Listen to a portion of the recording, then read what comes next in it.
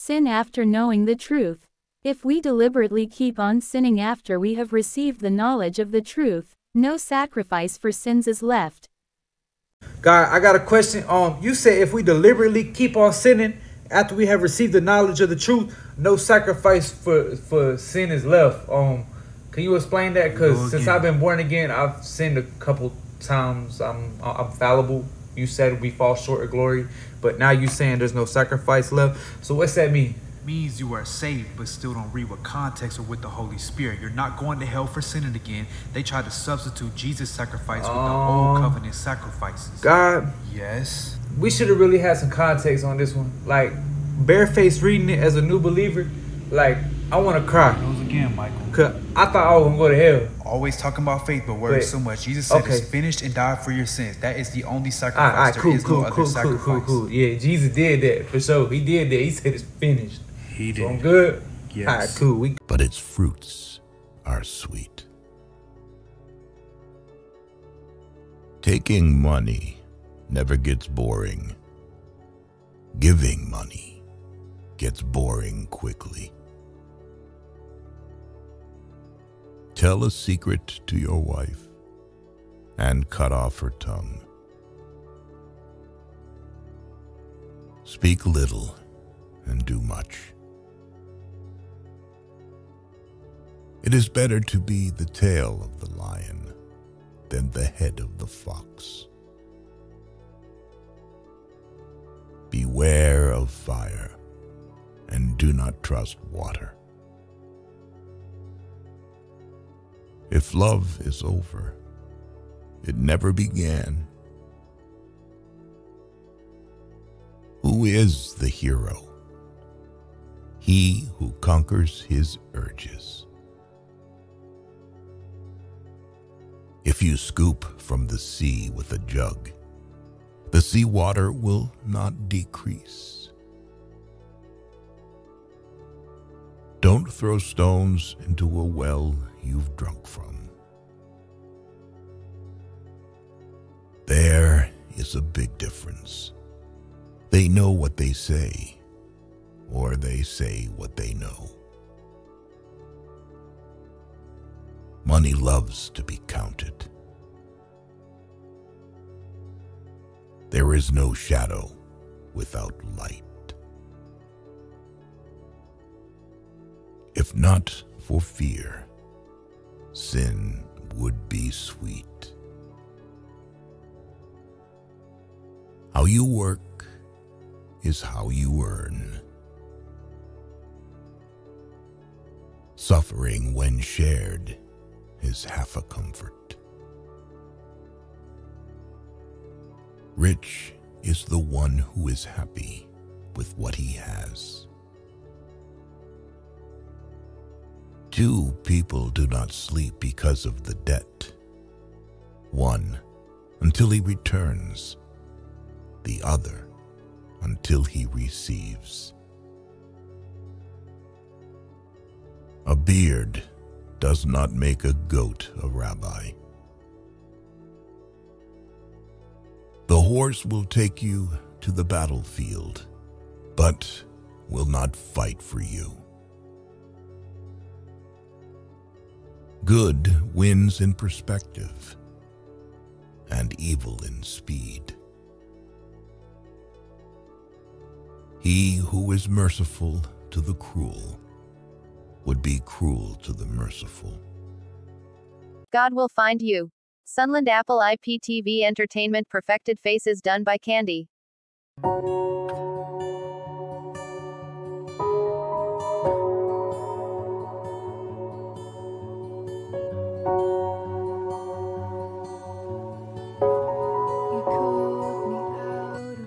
See, I didn't find God in the church. In fact, I didn't find God at all. He found me. He met me in a place where I was so broken I couldn't get up. And when you're loved like that, it will shock you. Whoever needs to hear this, listen now. God did not bring you this far to leave you. He did not bring you this far to. The scripture says that he that started a good work, a good work, he starts a good work, He's faithful to see it through till the end. The work that the Lord has started, has started in you is a good work, and He will surely see it through to the end. He said, He says, He makes all things work together for good for those that love love the Lord and are called according to His purpose. His purpose. You did not find God. Contrary to um, you know, to to the to the to the way it explained today that oh I found God, I found God. You did not find God. God was not lost. You was. You was lost. God found you. And so if he finds you, he is big enough, strong, strong enough, and able enough to secure you and to keep you. You've got to believe that. In the book of Matthew, Matthew chapter 6, verse 44, it says, No one can come to me unless the Father who sent me draws him, and I will raise him up at the last day. Christ is saying that if the Father did not send you, if the Father did not um, send you to Him, you will not be able to know Him. So God found you. So you've got to believe that if He found you and He's brought you this far, then He's faithful enough, He's able enough, and He's more than willing to see you through to the very end because He does a good work. He doesn't He doesn't um, do unfinished business. No. The Lord finishes His work perfectly. The book of Ephesians 2, verses uh, 10 says that um, we are God's masterpiece. We are God's masterpiece. Listen to these words created in Christ Jesus to do good works, which God prepared for us a long time ago. So before you were even born, there was a preparation for you. You've got to believe that because it's true. Before you even says, before you were formed in your mother's womb, I knew you, I'd set you apart. Right? So there's a preparation for you, there's a plan for you, there's a purpose for you, there's a there's a path for you. And and you are a masterpiece that is going through to perfection. You will be perfected. You're going through a process that is going to take you to perfection. The Lord did not bring you this far to leave. God wants to be pursued. He's a relational God. He's, a jealous God. He wants your heart. He wants your devotion. He wants your passion. In fact, he gives us an incredible promise in, in Jeremiah 29, verse 13. He says this God says, You will seek me, and what happens when you seek me? When you seek me, he says, you'll find me. It's a promise. If you pursue God, he will reveal himself to you. You will seek me and find me. When you seek me with all your heart, God says, I will be found by you, declares the Lord. When you draw near to Him, when you pursue Him, when you crave Him, when you hunger for Him, God loves to be pursued and He loves to reveal Himself to you. to speak to people about a pack. So when you look at a pack, Sister Lerato, it has this silver spring in the center. Yes. A pack cannot function without the silver spring in the center. If I remove the silver spring in the center, it will be just two pieces of planks that mean nothing. Uh-huh. Same Yeah. thing with your life.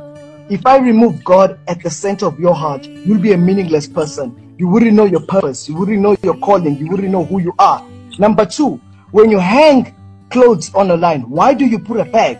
You put a peg so that impahla zingawe zingangcoli. Same thing with your life. Why do you receive God in your life? You receive God so that you don't fall into depression, anger, anxiety, bitterness, uh, jealousy. That is why you need God in your life so that you can be who you are and know your identity and purpose. Number three, if I remove the clothes from the pegs, impahla zenzakala zizohole. So that is why it's very important to stick on unto the Lord. Number four, Apex does not discriminate, Sister Lerato. Lezi impahla oyigqokile. doesn't matter whether you are rich, whether you are poor, whether you are filthy, whether you are dirty. A job is to hold impahla. It does not matter who you are. A is gonna hold you. Isn't this is the same thing that God says? Come as you are. It doesn't matter how broken. It doesn't matter what happened in your life.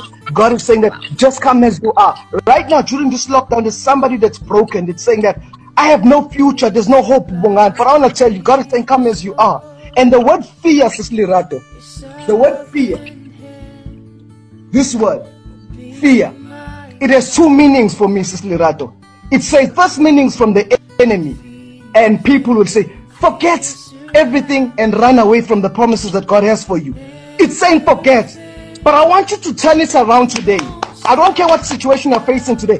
Turn it around. Face everything and rise. I don't care what situation you've been through. A lot of people, they might have thrown stones.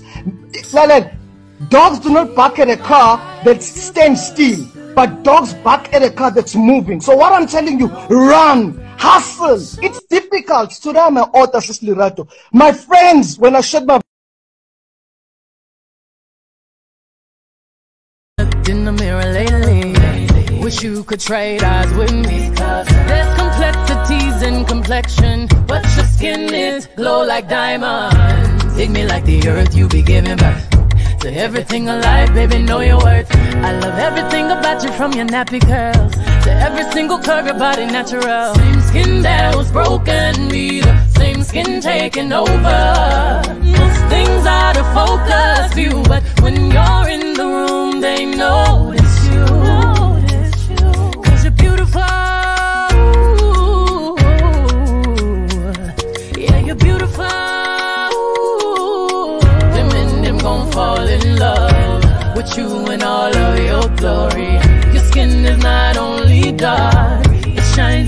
tells your story. Dance and they can't control you. They watch and they all you.